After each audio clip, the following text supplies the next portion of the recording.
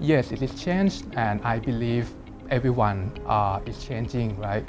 Um, we, we see that creating demand is very critical during the pandemic because that keep us survive.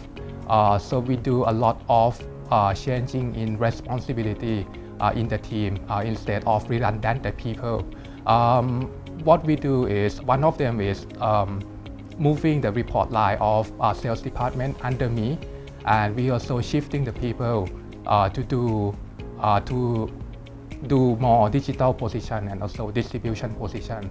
And myself, my role is also changing a lot. It is not just revenue management and distribution aspect anymore, but a complete commercial and digital strategy of the company. So I tackle many, many projects uh, like uh, rebranding of the hotel brand uh, under Cross Hotel and Resort umbrella, uh, creating a new website, um, going out for the sales roadshow, and what else, uh, directing a tactical campaign as well, and uh, also finding more strategic partnership. And the key, another key responsibility that is um, that is in my new position is also evaluate and recruit the new technology into the company to make sure that we are up to speed in terms of efficiency and performance.